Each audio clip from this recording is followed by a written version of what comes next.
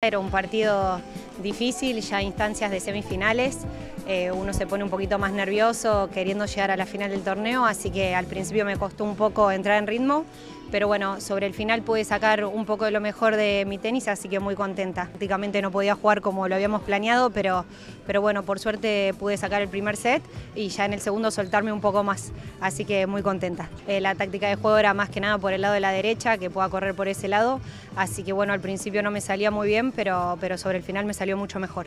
Y la traías a la red también, eso era parte de la estrategia. Sí, cambiarle un poco los ritmos, las alturas, eh, creo que el slice acá en estas canchas viene muy bien, así que ahí la hago dudar un poquito para, para poder después ponerla a correr. Me gusta mucho competir en canchas indoor rápidas, así que aprovechando y disfrutando al máximo de Treleu y toda la gente del club Tenis Treleu, que la verdad que nos brinda la mejor calidad y la mejor onda todo el tiempo.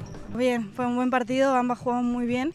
Eh, y nada, muy contenta y a ver qué tal la final. Estoy muy emocionada.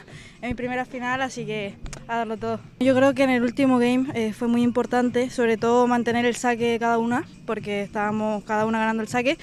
Eh, creo que fue un poco más mental que, que tenístico, así que eh, contenta también por ese lado. ¿Qué te incomodaba de su nino donde veías que no tenías que permitirle eso en el juego?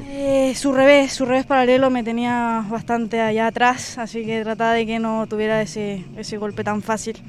¿Y tus golpes funcionaron bien hoy? Eh, sí, cada partido va mejor, así que también contenta por eso. ¿Qué sabes de Victoria Bocio? ¿Ya las ha enfrentado? ¿La rival de mañana? ¿Experimentada, 30 años? Eh, sí, jugamos una vez en Arcilla, en Brasil, a principio de año.